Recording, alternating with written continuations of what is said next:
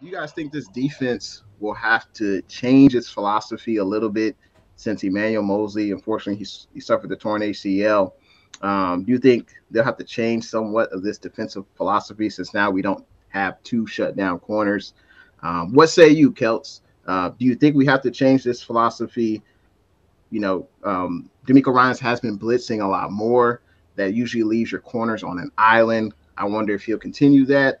Um, and also, do we have you know, an answer? Do we have someone on the roster who could fill Emmanuel Moseley's spot?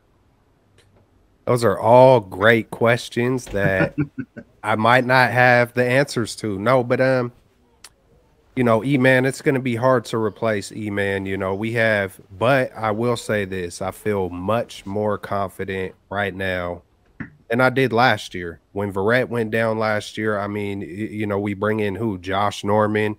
We bring in you know, we give uh, Dre Kirkpatrick a run, you, you, you, know, and, and that was real concern.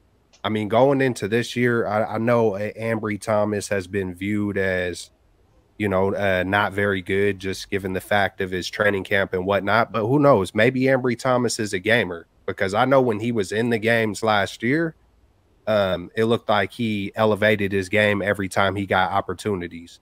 So who really knows what Ambry Thomas is going to be or if he'll get played? Who knows if it's going to be Lenoir? But I just feel much more comfortable going into it with Ambry Thomas and Lenoir in year two. And then we also have Womack.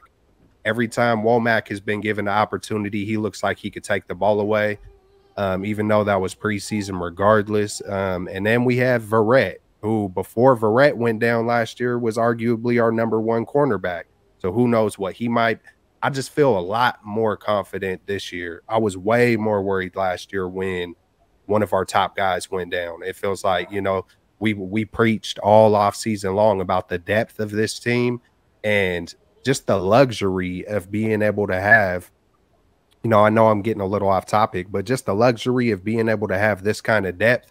I don't know if there's a team in the NFL that could go to, you know, get have all the injuries that we've had and still be looked at like one of the best teams in the NFL. So I think with DeMeco Ryans and the whole coaching staff, I think we're going to figure it out.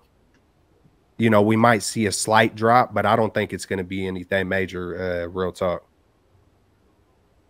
What about you, Bay Area Baller? Um, who replaces Emmanuel Moseley? And do you think the 49ers and DeMeco Ryans will change up their defensive philosophy so far? No, I don't think you're going to be going to have to change anything. I'm looking at the youngster, the rook, Sam Womack. I think he's going to get his shot on the perimeter. We know they started him out in the slot. He looked good, made some plays.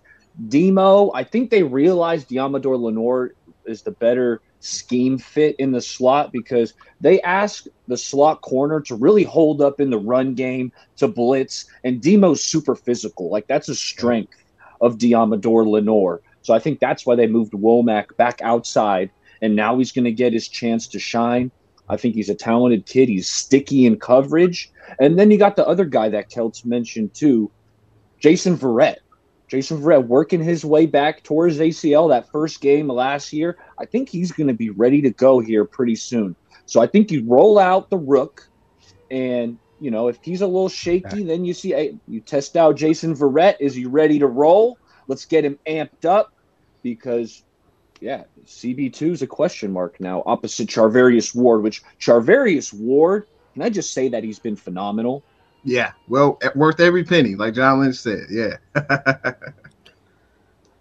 yeah, compared to last year, obviously the loss of Emmanuel Moseley is tough because last year Verrett went down. And Emmanuel Moseley was that guy that came came in and that played a huge role and that literally was one of the most underrated quarterbacks all of last year. But now him going down, obviously having that pick six, which was amazing by him.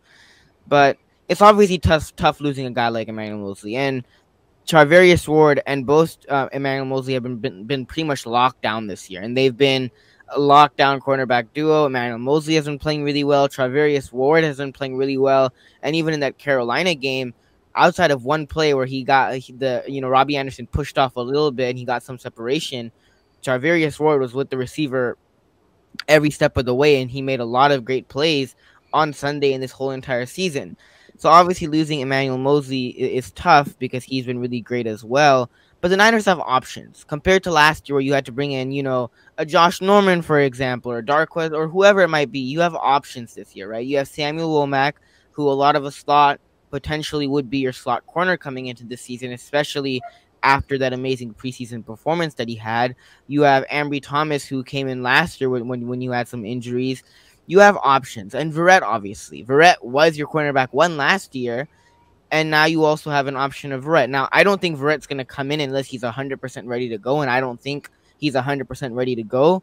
So I definitely don't expect to see Verrett at least for another week or two. I don't think Verrett's going to be that immediate replacement.